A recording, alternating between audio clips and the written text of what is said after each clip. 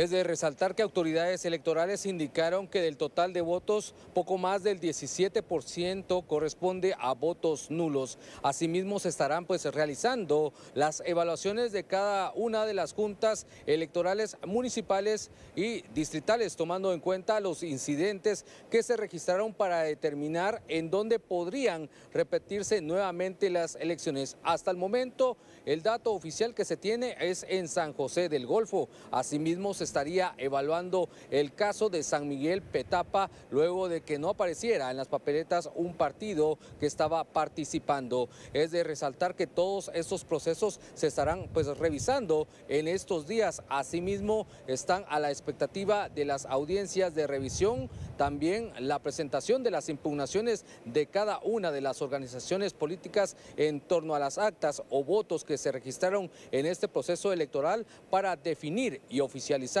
los datos eh, generales de estas elecciones que pues finalizaron ayer y en donde también se indicó que se registraron incidentes en algunos puntos. Con imágenes de Iván Barrera, informó Daniel